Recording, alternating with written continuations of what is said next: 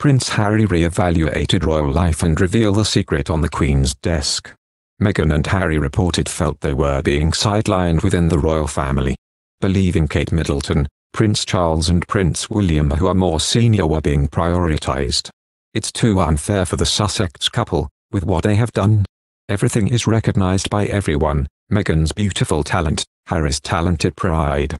Enough to prove royal honor, fans will have a new look at royal life. The things Meghan and Harry have done deserve honor, respect and priority in the royal family over William and Kate.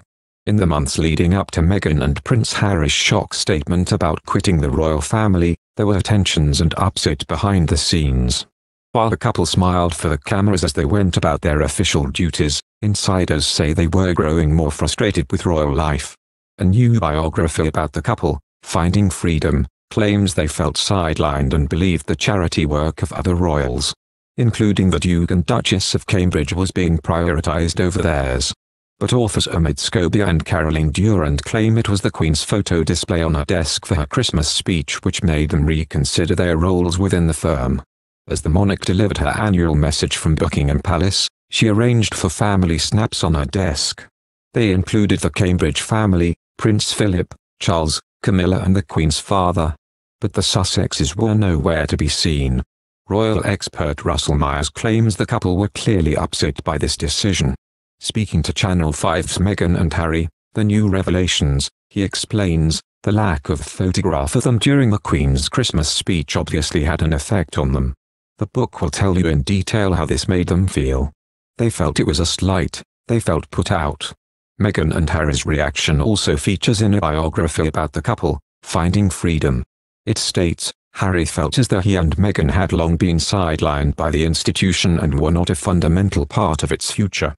One did it have to look further than the family photos displayed during the Queen's speech on Christmas Day. In the green drawing room at Buckingham Palace, where the Queen delivered her address, viewers glimpsed photos of the Cambridges and their children, Charles and Camilla, Prince Philip and a black and white image of the sovereign's father, King George VI.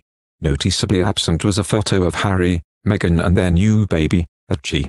Palace sources insisted that the photos were chosen to represent the direct line of succession. But for Harry and Meghan, it was yet another sign that they needed to consider their own path. However royal expert Katie Nicholl believes the couple were not missed out through spite. But it was simply a reflection of the royal family as a whole. She tells the documentary, what I think was trying to demonstrate it in that message was the future of the monarchy, the future heirs and the future Sovereigns. Harry and Harry's son are not there. They don't have the place on the table. Just weeks after the speech Ed Meghan and Harry shocked the world when they released a statement on Instagram revealing they were quitting. They said they had spent months thinking about the decision, but that they hoped to continue to support the Queen, the message reportedly caused upset and anger at the palace. Meghan has racked up £1.8 million costs already. Meghan racks up £1.8 million legal bill already in High Court privacy case. The newspaper will also tally up costs of £1.2 million, documents released in court revealed. The judge, Master Francesca Kaye, described the legal bills as excessive and disproportionate. She added that, despite those involved, the case was a personal dispute with no wider public interest. Meghan is expected to face dad Thomas Markle, 76, during the 10-day trial in January. Her legal costs include £524,000 for trial preparation and £304,700 for the trial itself, along with £200,000 on bringing the case to court, £190,000 for disclosure and £104,110 on statements. Meghan fired barrister David Sherborne this month and replaced him with Justin Rushbrook QC. She was previously told to pay the paper £67,000 costs after losing an earlier hearing. Thank you for watching. If you like our video, would you please help us like, share and subscribe our channel. Wish you happy to see our videos, thank you very much.